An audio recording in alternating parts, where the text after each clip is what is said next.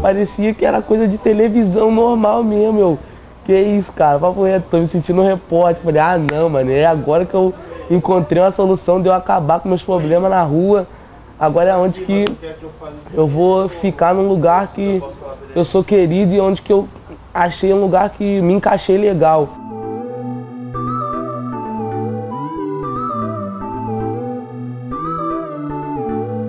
Me ajudou é, em perder a timidez. E sem contar que ajuda que o tempo que a gente vai ficar aqui é o tempo que a gente poderia estar em casa sem fazer nada, entendeu? Então fazendo o curso, participando do curso é melhor, é bonzão.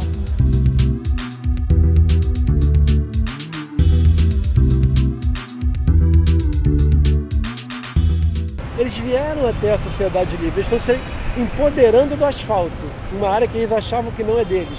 Então acho que a principal mudança é aproximar o que, o que a gente faz no audiovisual, o que a gente faz virtualmente, poder ser tátil. Você encontrar com todo mundo na rua durante uma gravação e poder falar com eles.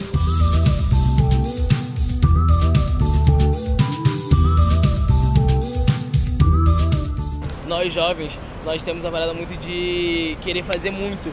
Mas a partir do momento que você não vê essa porta, você não vê, caraca, será que você acaba duvidando de si? Será que eu consigo?